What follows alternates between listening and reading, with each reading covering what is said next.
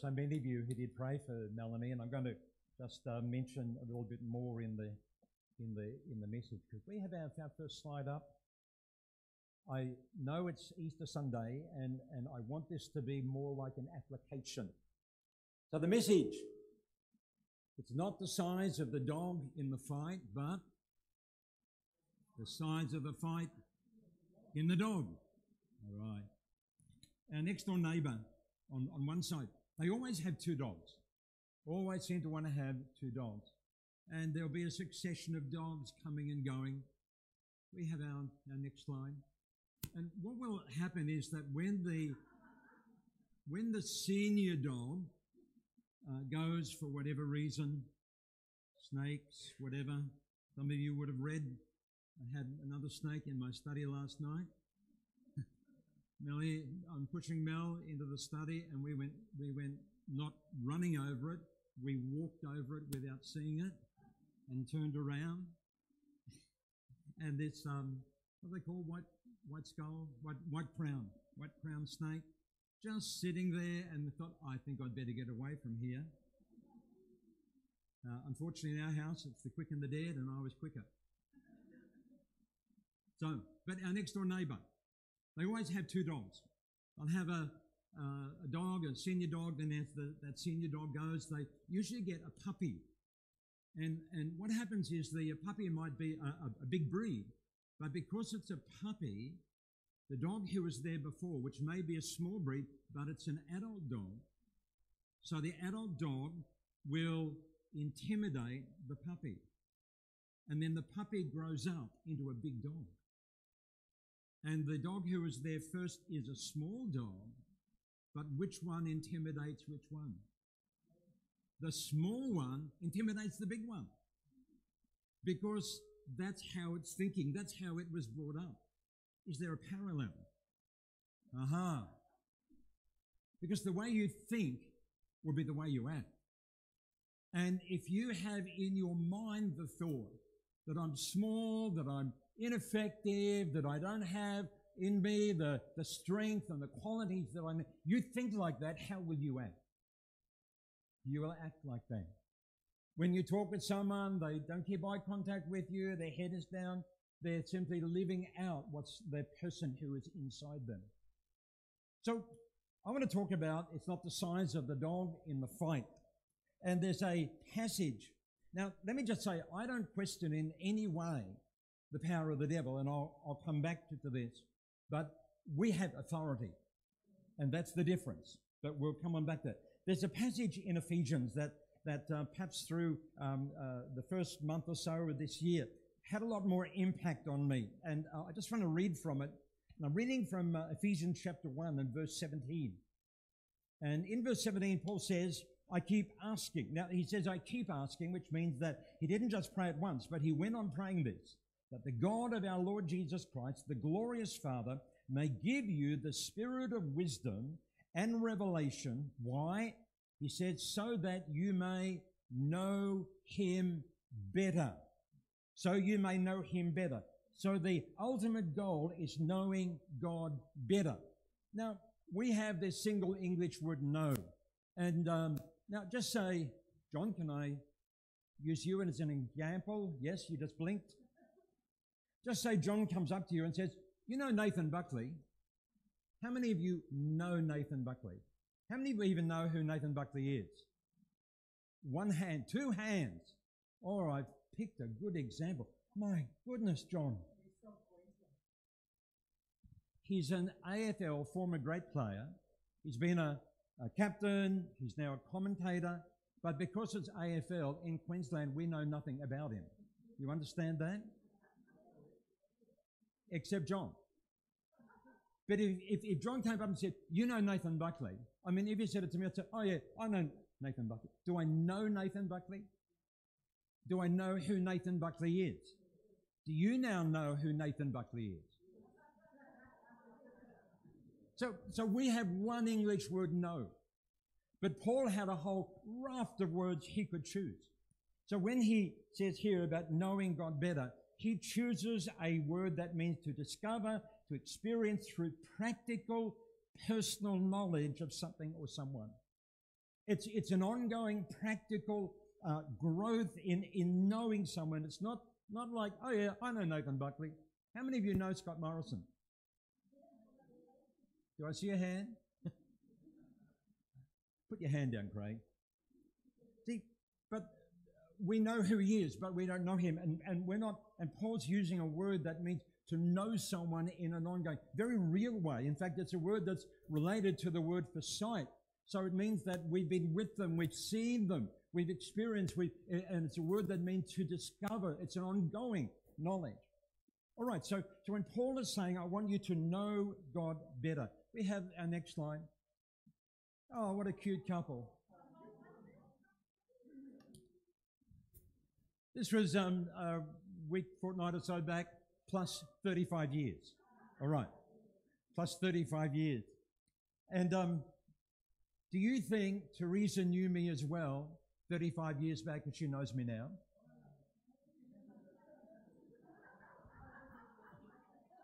She asked me, she said, why is there a slide from our wedding day in this message? And I didn't tell her. And now she's come out to listen. There must be a God. She loves me after 35 years. And she knows me much better than she did back then. Much, much better. Because, you know, how many, I mean, when they say love is blind, there's a very real truth to that, isn't there? But you, you, you're with someone, you get to know them. It's this kind of knowledge. We go to our, our next slide, and our, our circumstances, difficult circumstances, often test how well we know God. Um, they really do. And I, it's been my, um, like, I think of all that we went through with Melanie. Teresa has known the Lord somewhere around 45 years, somewhere around there. She might, she'll come out later and say, no, no, not exactly, but somewhere around 45 years.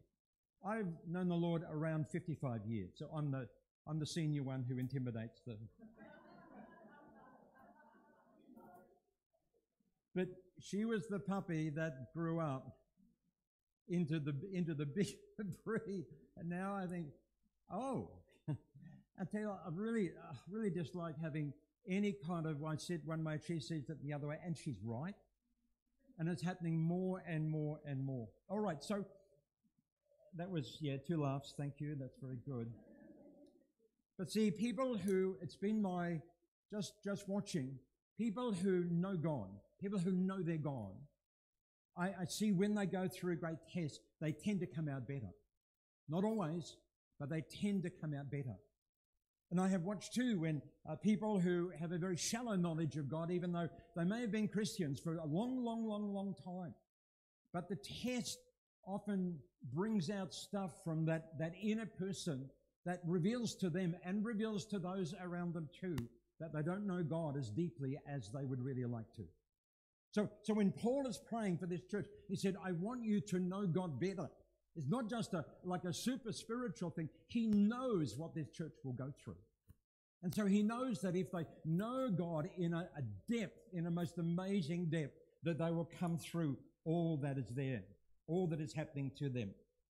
I remember um, many, many years back in the early days of this, um, this church, and uh, the church had a very strong faith element. It was never a, a, a never what we call a, type of faith church, but, but very strong faith element. And um, um, sometimes people would come into the church, they'd be attracted to that faith element. And then sometimes they would um, come to me and they would challenge me and say, Geoff, you know, you don't have enough faith. If you had more faith, you'd be believing for far greater things than you are right now.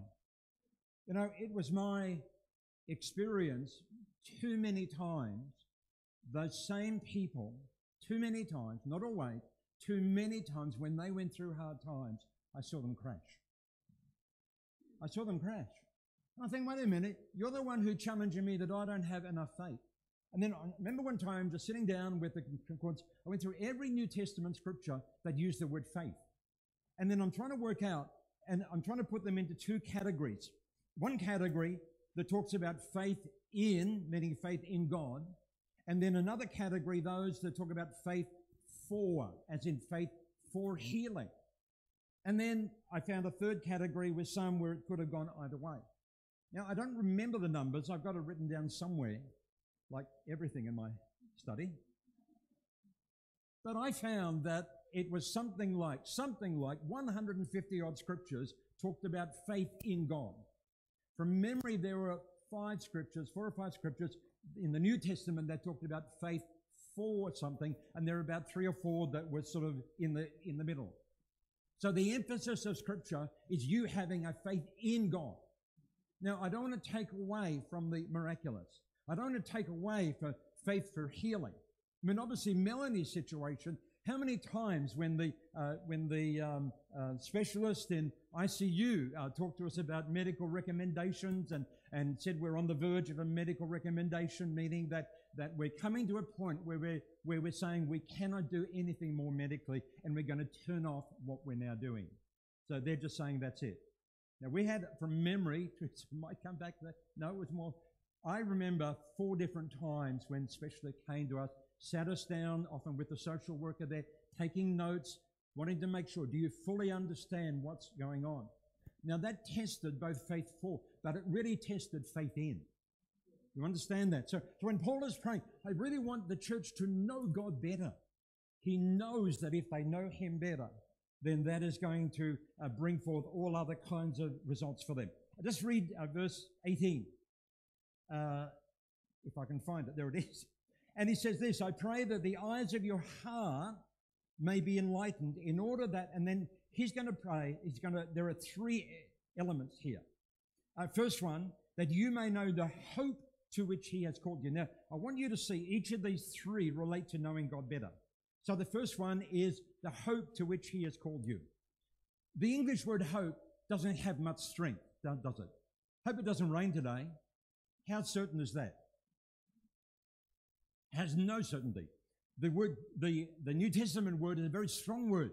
It's always future. It's always looking up ahead, and it's a confident expectation. It embraces heaven. It embraces all that God has for his children in a forward looking way.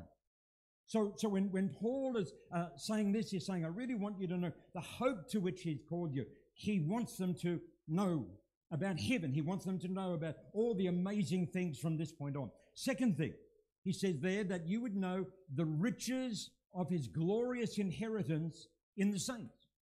Now, the first Bible I had was so holy that I could not touch it. I was a young teenager, I was given a Bible, and it had stamped on the front of it, Holy Bible.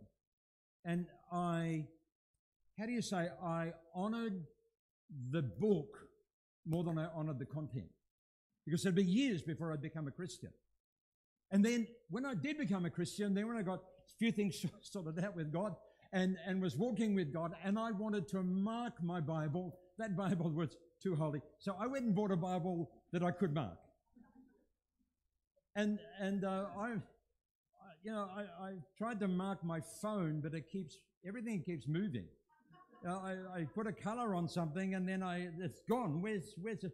See, you can't mark your phone. You can mark a book, can't you? And I would, I'd have my colored pencils and I had blue for all things heavenly. I had purple for the kingdom of God. I had, I had uh, all other color. I had yellow for the Holy Spirit. I had uh, green for prophet. I had all these things. I had lines down the side for this, and if I colored in, it meant that. See, I wanted to know what Christ had won for me here and now. See, the, the first thing Paul prays is future. This one, I want you to know the riches of his inheritance here and now. What's he done for you here and now? I, I have at home, I, I brought it down, a list of 25 things that Christ has done for me that I can claim. And there are, uh, uh, oftentimes, there are seasons where I have to confess these things and, and confess these things. And I have the main scriptures underneath because I need to live in my inheritance here and now. This is my here and now life. It's living in the inheritance here and now. And then the third thing Paul prays, and this is what I'm, where we're going this morning, he prays that they would know his incomparably great power for us who believe. His incomparably great power for us who believe. Now, this will link where we are now to the future. So, first one was hope, future. Second one, the riches of the glory of his inheritance in the saints here and now. This one looks forward. Now, he says if it's incomparably great, that means it's incomparably great. You can't compare it to any other thing. There is nothing I can compare to it. Let me just read to you from um, Ephesians chapter 1, 19 and 20. I'm reading from a different version that, that, that has a better flow to it. And, and it says this I pray that you'll begin to understand how incredibly great his power is to help those who believe him. It is that same power that raised Christ from the dead, seated him in the place of honor at God's right hand in heaven. Wow. The power that raised Christ from the dead is the same power that touches us when we come to faith in Christ. The same power.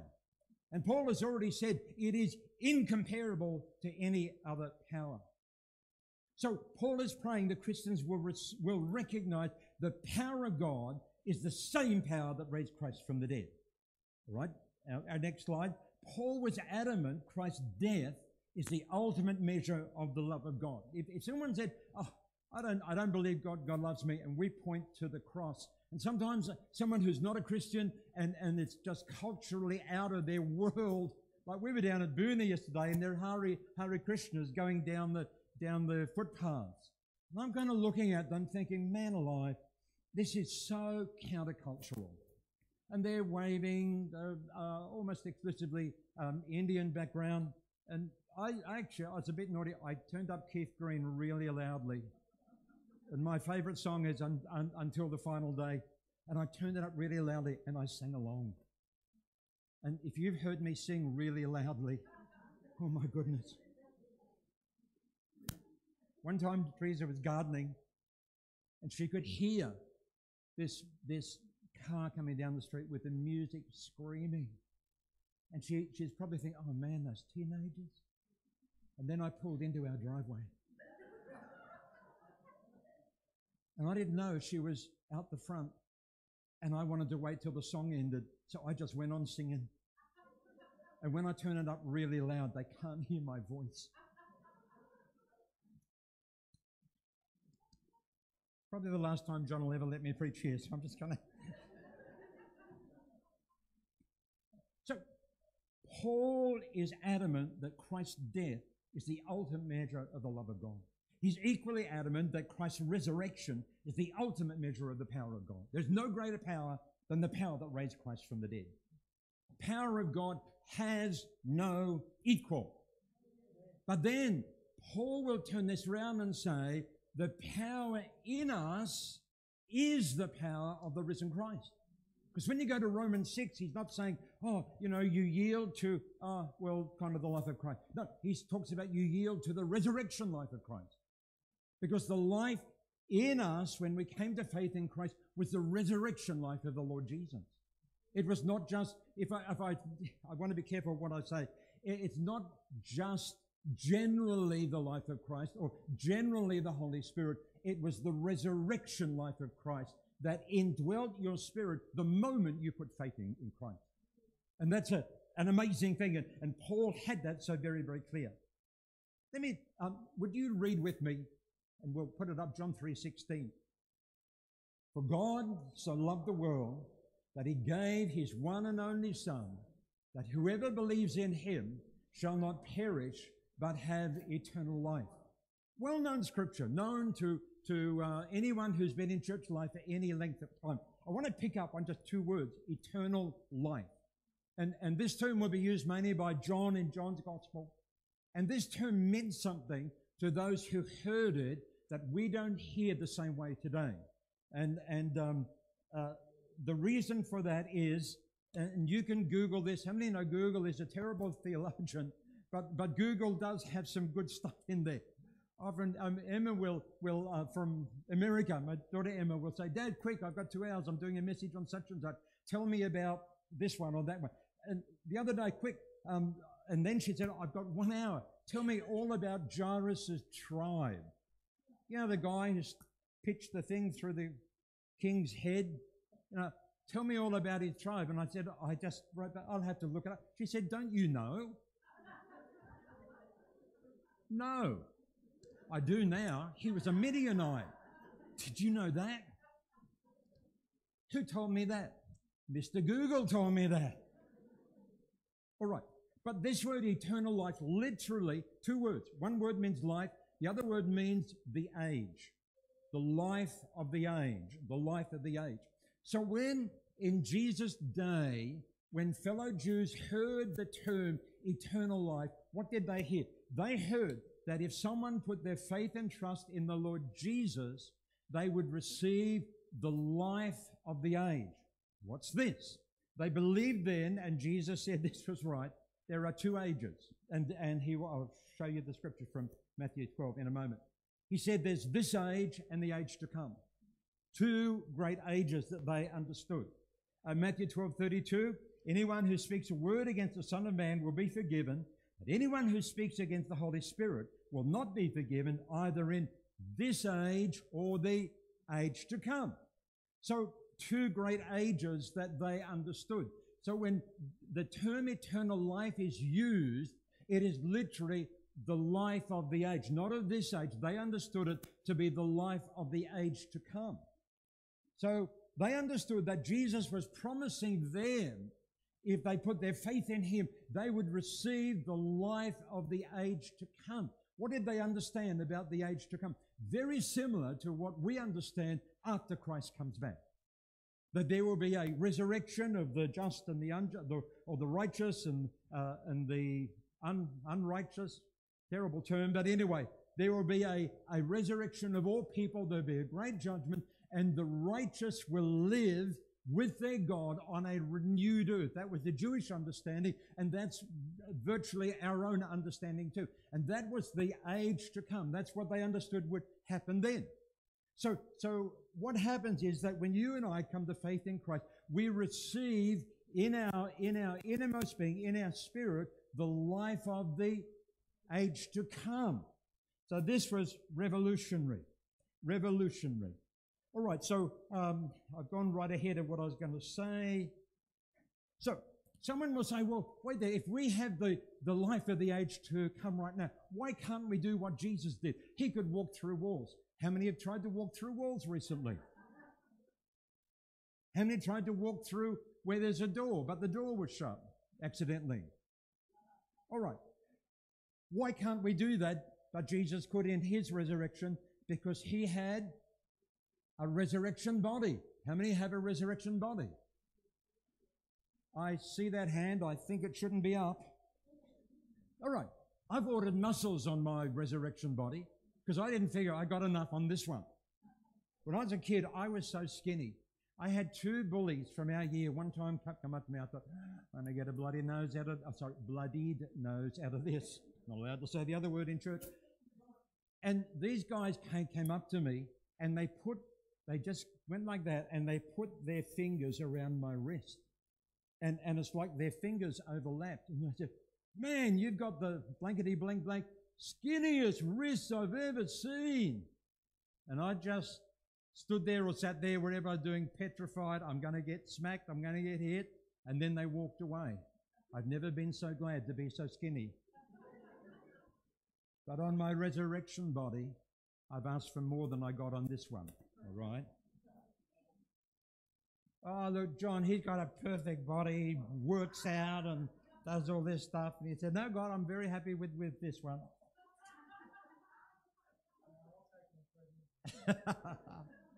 all right, so so then let me just read from Ephesians chapter 1 and um, from verse 19.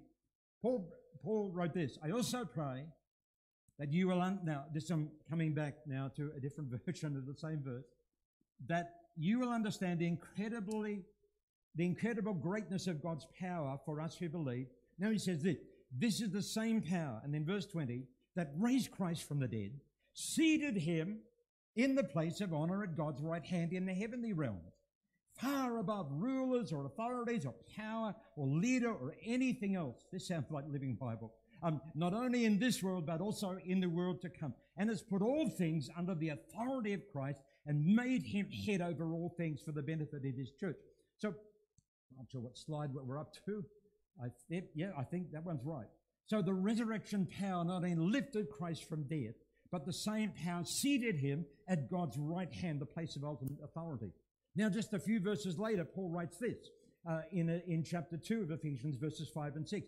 But because of his great love for us, God, who's rich in mercy, made us alive with Christ, and even when we were dead in transgression, by grace you have been saved. Now listen to this. God raised us up with Christ, seated us with him in the heavenly realms in Christ. So I was saying that, that when Christ was raised from the dead, he was raised to a place of glorious authority. But then Paul goes on to say, and the same thing happened to you. When you put your faith in Christ and the Spirit of God, the life of Christ, the risen life of Christ came to indwell your spirit, he raised you up to that place of authority, the same place of authority that he gave to his son, to the Lord Jesus. So I'm looking at this and he's saying, well, the resurrection life of Christ raised him. The resurrection life of Christ has raised me. Now, does that mean that I can, I can do all this and I can walk on water? Anyone tried to walk on water recently? I can command the waves and they will stop. I've actually seen that happen. I didn't do it, but in Newcastle there was a water baptism, in an area called the Blowhole. Massive waves come in. A friend back then called John, John Lovell, put up his hands and said, and I don't know what he just yelled out because we're just looking at the big waves and he just commanded that the waves stop and the waves just stopped. They just dropped down. They baptized those who were going to be baptized. And as they walked away, what happened to the waves? They all came back up. All right, we will have little glimpses of that, but until that time that we have the resurrection bodies, we won't see the, the most extraordinary things that the Lord Jesus saw in his resurrection body. All right, so, so Paul is praying for the Ephesian church, and he wants the Ephesian church to know these amazing things. Why does this church need to know it? What was the, which was the church that when Paul preached, there was such a move of God that all those involved with witchcraft bought all their witchcraft paraphernalia to be burned. Hint, same church, hint. Anyone want to call it out? Oh, yes. Was that you, John? Oh, no wonder you're the pastor. same church. And see, when there's a breakthrough against the whole demonic world, how do you think the demons feel? Do you think they say, oh, well, we'll give this one over to Paul? Or do you think they will counter? I think they will, they, they will counter. The devil doesn't have authority, but he does have power. And so there is a, a, a, a resurgence of demonic stuff coming against the church in Ephesus. So Paul is praying, you guys need to know not only that you have the life of Christ, you need to know you have the resurrected life of Christ. You need to know that you have been raised to a place of authority. The devil has power, but you have authority. You need to know that. You need to know that. This church needed to know that. For the first two and a half years of my Christian life, I was a Clark Kent Christian. How many know who Clark Kent is? How many know who Clark Kent is? Like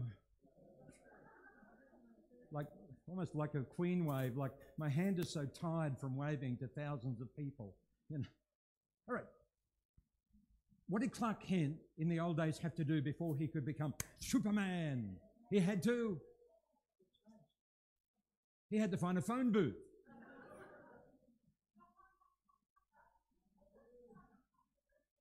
How many of you said you know who Clark Kent is? Well, he had to find a phone booth. So for two and a half years, I was a Clark Kent Christian looking for a phone booth. I couldn't find one. I was a wimp for Jesus. And I hardly read the Bible, I hardly prayed. And if, if, um, if there's any kind of spiritual conversation, I just backed right away. I wouldn't know what to, to say.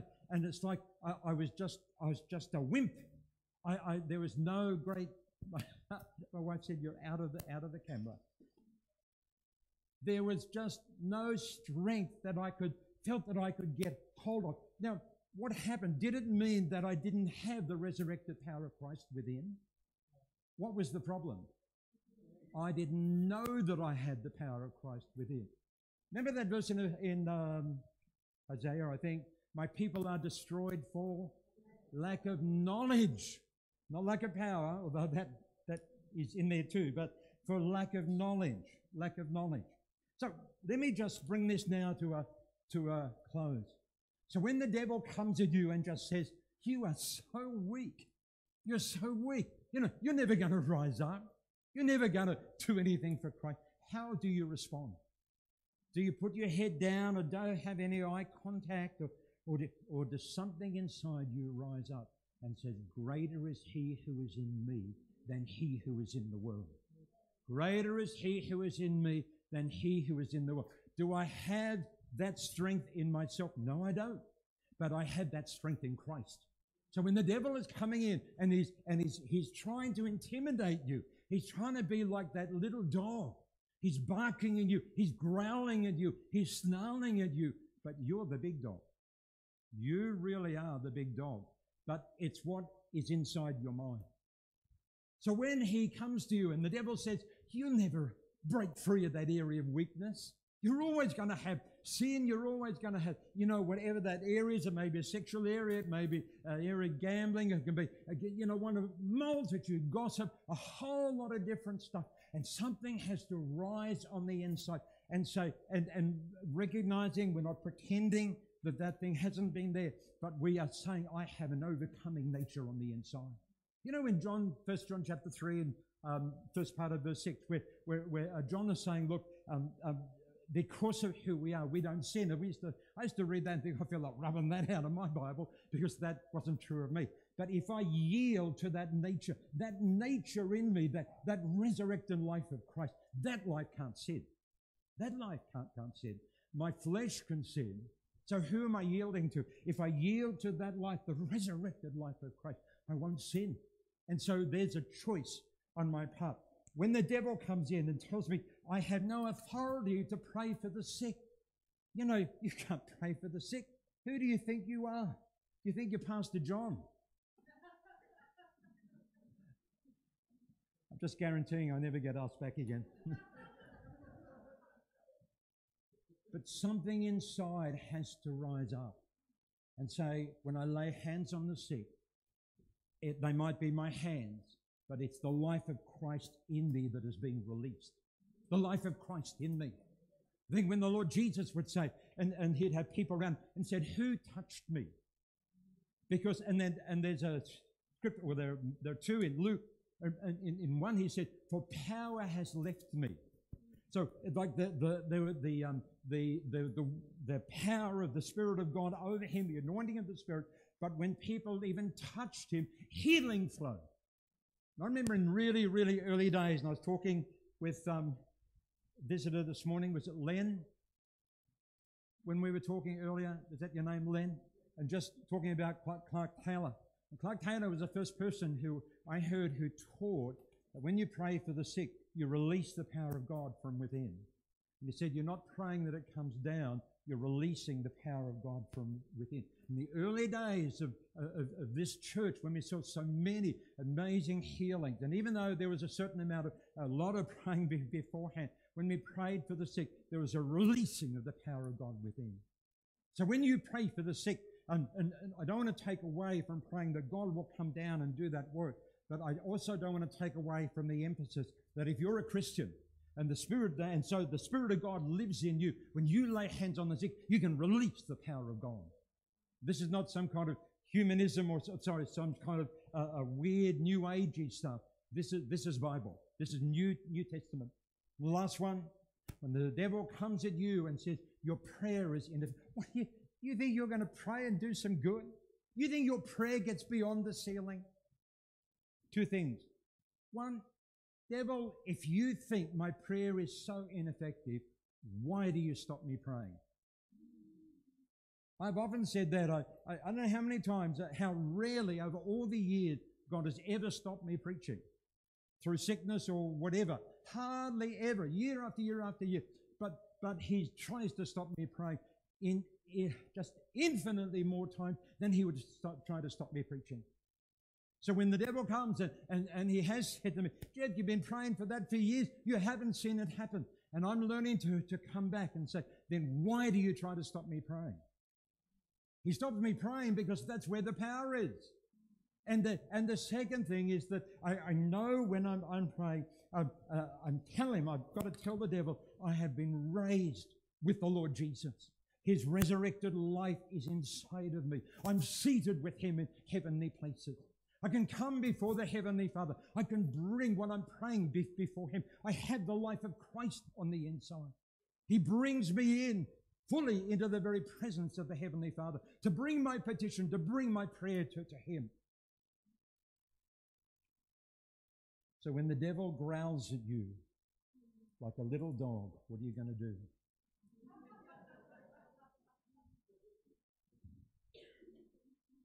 That's not a hippo, that's a rhino. What sort of dog is that? It looks like a little chihuahua. Who's chasing whom? Come on, one of us will chase a thousand, two of us will chase ten thousand.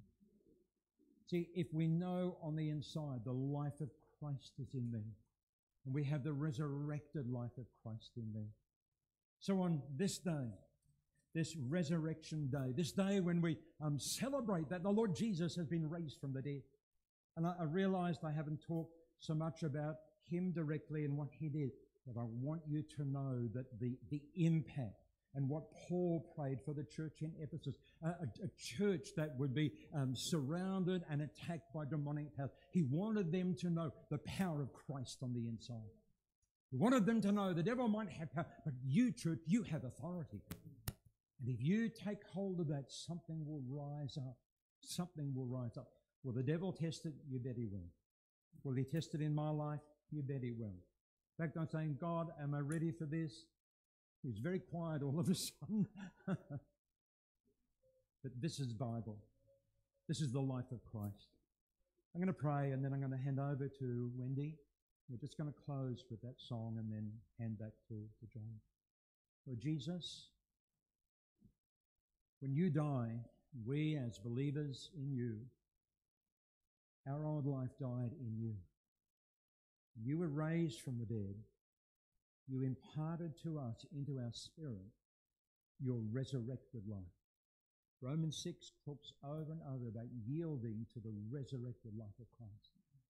And I just pray, Holy Spirit, that you would be the spirit of wisdom and revelation in the knowledge of Christ. You would come and you would reveal to us who we are in Him, the amazing work that He's done. And on the inside, something would rise up, perhaps more than it has for a very long time. We would take hold of Christ. Do that good work on us. And God's people said, Amen. Amen.